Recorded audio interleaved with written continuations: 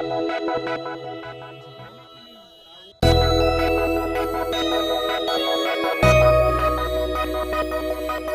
you.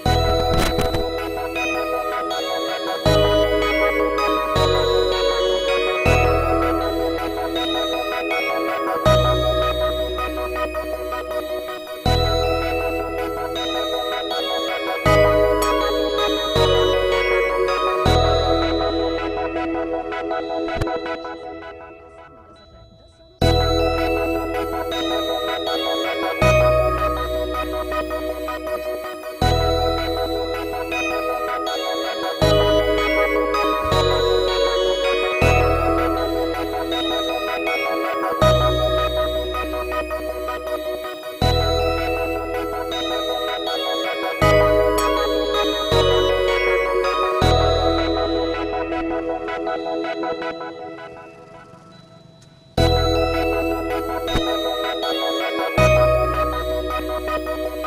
you.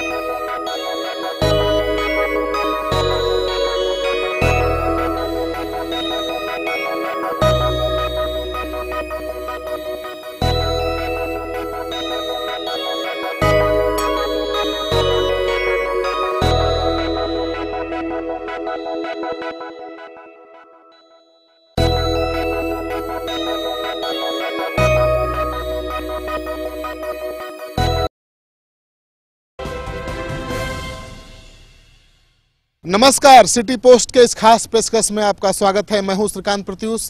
आपको लगातार छः दिनों से हम पटना के बाढ़ की तस्वीर दिखा रहे हैं, लेकिन सबका ध्यान केवल राजेंद्र नगर कंकड़बाग और पाटलिपुत्रा इलाके पर ही टिकी हुई है। वहीं पर राहत बचाव कार्य भी चल रहा है, लेकिन पटना का एक बड़ा इलाका है सगुना मोड़, गोला रोड रंजन पथ और इन इलाकों में भीषण जल जमाव है, लेकिन न तो मीडिया कर्मी यहाँ आए हैं अब तक, और न ही कोई राहत बचाव कार्य शुरू हुआ है। तो आप देखिए, यहाँ पूरा लगता है कि ये शहर झील में बसा हुआ है। ये शहर पूरी तरह से झील में तब्दील हो गया है। हर जगह पानी ही पानी नज़र आ रहा है, क्योंकि ये नया मोहल्ला है। दस, पंद्रह साल पहले ये डेवलप हुआ है, और अभी भी आप देख रहे हैं कि खाली ज़मीन बहुत ज़्यादा है। और सब जगह खाली ज़मीन जो है, वो तालाब और झील के रूप में नज़र तब्दील हो गया है। तो हर जगह पानी ही पानी नज़र आ रहा है। लोग अपने घरों में कैद हो गए हैं, क्योंकि इस इलाके में ठीक ढंग से ड्रेनेज सिस्टम डेवलप नहीं हुआ है। और कहा जा रहा है कि दीघा जो नहर है, इस मोहल्ले से होकर गुजरती है पाटलिपुत्रा रेलवे स्टेशन होते हुए। उस नहर में ज़्यादा पानी आ गया और उस नहर के पानी से मोहल्ला डूबा है।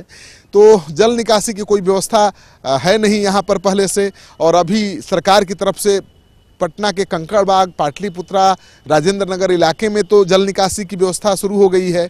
और जल निकाला भी जा रहा है, लेकिन इन इलाकों में इस तरह की कोई सरकारी पहल नहीं दिख रही है, कोई सरकारी व्यवस्था नहीं दिख रही है। लोगों का कहना है कि घरों में वो कैद हैं, लेकिन अभी तक हेलीकॉप्टर से न तो उनके पास कोई राहत सामग्री पहुँची है और न ही कोई सरकारी अधिकारी इधर घूमने आया है। तो इसमें शक की कोई गुंजाइश नहीं कि इस इलाके में भीषण जल जमाव है और ये जल जमाव अपने आप निकल, ख़त्म होने वाला नहीं है।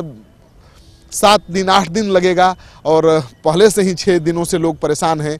तो जहाँ पंद्रह दिन लोगों को अपने घर में जल जमाव की वजह से कैद रहना पड़े तो उनके हालत का अंदाज़ा आप सहज ही लगा सकते हैं। तो पूरा मोहल्ला डूबा हुआ है, पूरी तरह से जलमग्न है। हम चलेंगे और भी कुछ तस्वीर दिखाएँगे, क्योंकि इस इलाके के लोग लगातार सिटी पोस्ट को फ़ोन कर रहे थे। और कह रहे थे कि आप इधर आइए, कोई इधर नहीं आया है, सरकार का ध्यान नहीं गया है, सरकार का ध्यान इधर दिलाइए। तो हम कुछ लोगों से भी चलेंगे, बात करेंगे, लेकिन अभी हम इस इलाके के एक ऊँची इमारत पर चढ़कर ये तस्वीर आपको दिखा रहे हैं। कैमरामैन मनोज शुक्ला से कहूँगा कि एक बार फिर से नीचे जो झील वाली स्थिति है, उसको एक बार पैन करके कैमरा दिखाएँ, ताकि सरकारी बाबुओं की नींद खुले और उन्हें अंदाज़ा लगे कि क्या हालत है, कैसे लोग अपने घरों में कैद हो चुके हैं।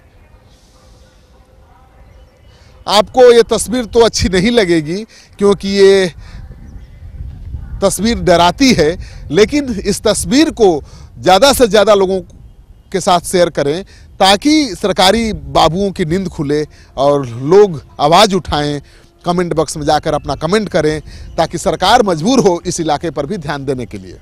आपका सहयोग समर्थन लगातार सिटी पोस्ट को मिल रहा है और उसी समर्थन सहयोग की बदौलत हमारा हौसला बुलंद है और लगातार हम आपकी सेवा में जुटे हुए हैं। ये सहयोग समर्थन आगे भी मिलते रहना चाहिए। धन्यवाद। जानते हैं कि घर बैठे आप अपनी स्वास्थ्य समस्याओं का सोल्यूशन पा सकते हैं सॉफ्ट केयर मोबाइल ऐप के द्वारा। अधिक जानकारी के लिए आप संपर्क कर सकते हैं। हमारे फ़ोन नंबर है nine four seven two nine eight double one double one nine four seven two nine eight double two double two soft care app solution at your finger tips